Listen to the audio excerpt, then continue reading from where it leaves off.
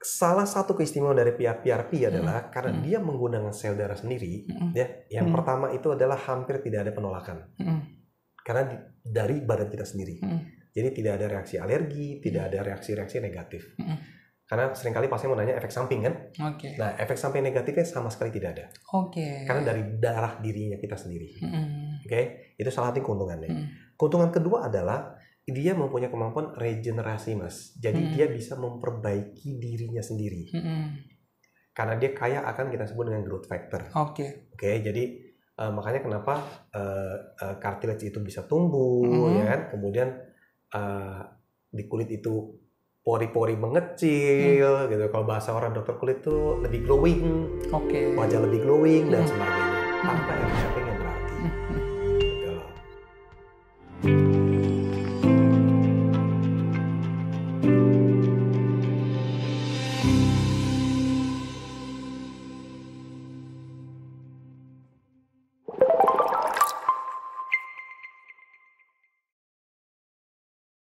Halo sahabat Indayana, welcome back to podcast sahabat Indayana. Masih seputar tentang PRP sebagai solusi untuk masalah otot, tulang, dan sendi. Nah, di podcast sebelumnya kita telah membahas apa itu PRP. Nah, pada hari ini kita akan membahas lanjut seputar PRP secara tuntas. Nah, mungkin untuk berikutnya, eh, dokter bisa jelaskan nggak sih dok? Prosesnya mungkin dok. Proses dari eh, Ah, PRP, pengambilan. pengambilan. Oh, Oke, gini. Jadi eh, proses pengambilannya cukup sederhana, Hmm, Mas. Jadi pasien datang, kemudian kita ambil darahnya pasien, Hmm. oke. Nah, setelah kita ambil darah pasien, terlepas dari komorbid yang pasien hadapi ya. Mm-mm. Jadi misalnya pasien ada diabetes, eh, kolesterol tinggi dan Hmm. macam-macam, sebenarnya tidak mempengaruhi eh, eh, PRP-nya, Hmm. hanya mempengaruhi kualitas PRP-nya Oke. gitu loh ya.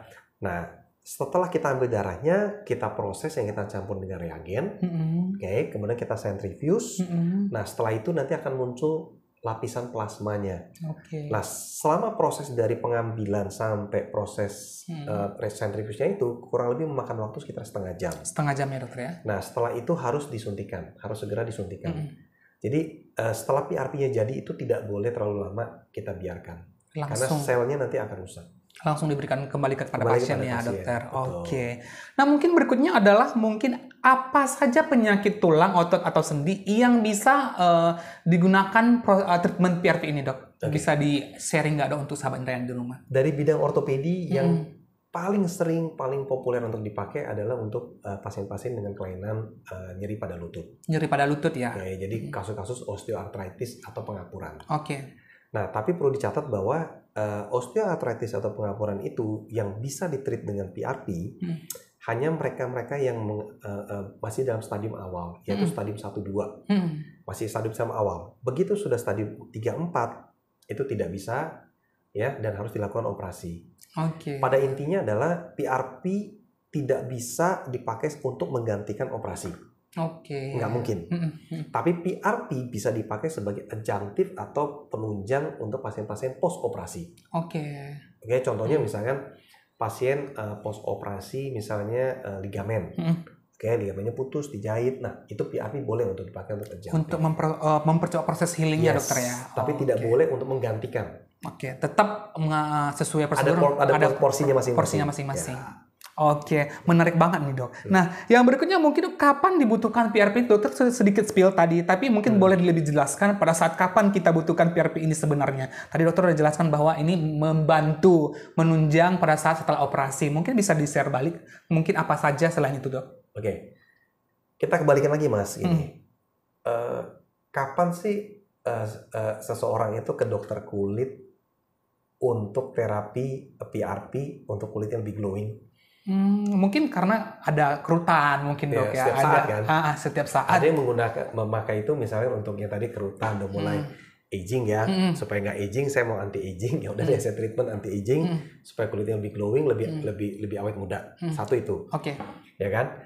Tapi apakah itu eh, harus menunggu sampai seseorang itu aging baru boleh dipakai? Harusnya tidak ya dok ya? Tidak kan? Hmm. banyak kemudian uh, uh, uh, uh, uh, orang-orang itu yang melakukan treatment PRP secara berkala. Untuk melakukan proses pencegahan ya dok ya? Yes, secara Hmm. berkala. Hmm. Nah, begitu juga sama dengan dengan ortopedi, Mas. Hmm, Secara oke. prinsipnya sama. Hmm. Artinya Apakah harus nunggu seseorang itu sampai rusak baru kita pakai? Harusnya Tidak. tidak, ya, dok ya. Jawabannya tidak, Hmm. gitu loh. Artinya itu sebenarnya eh, eh, sebuah terapi yang eh, secara prinsipal adjunctive, Mm-mm. oke. Kita bisa pakai sebagai prevention, dibolehkan. Mm-mm. Dipakai sebagai terapi juga dibolehkan, Mm-mm.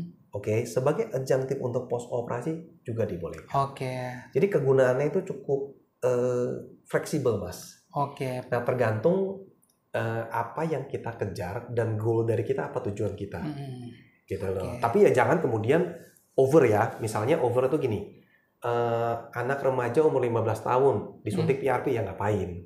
Oke, Gitu jadi loh. ada ada batasan usia dok atau seperti apa? Eh, anak 15 tahun masih growing, masih di SMP, SMA, tidak ada cedera, tidak ada Hmm. cedera olahraga, lah untuk apa?